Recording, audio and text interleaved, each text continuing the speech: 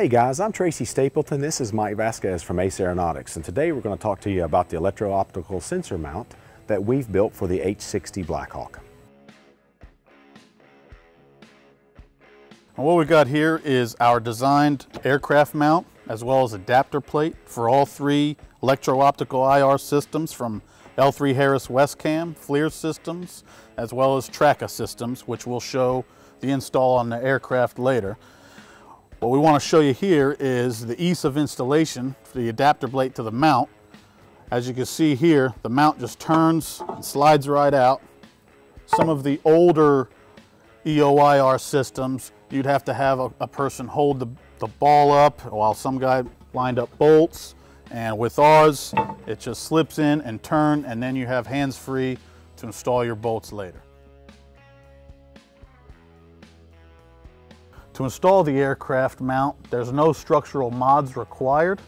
You remove the original nose vibration absorber fairing, install the aircraft mount with 41 screws.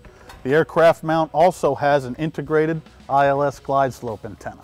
We're showing the installation of the Trakka Systems TC300 sensor onto our Ace Aero Design adapter plate.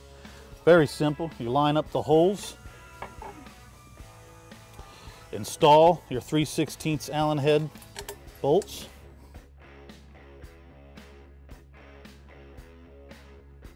Upon installation of your bolts, you would torque to spec and there are slots cut out for safety wire application.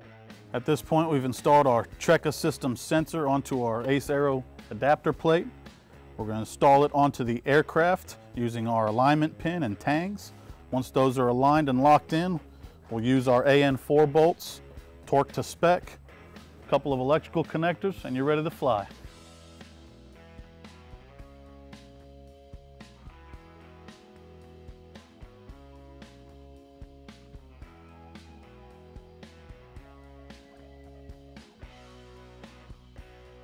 So there you have it. You see the Ace Aero electro-optical sensor mount installed with the Trakka Systems TC300. Key benefits are low cost, lightweight, no structural mods required. You can look us up on aceaero.com and we look forward to seeing you next time.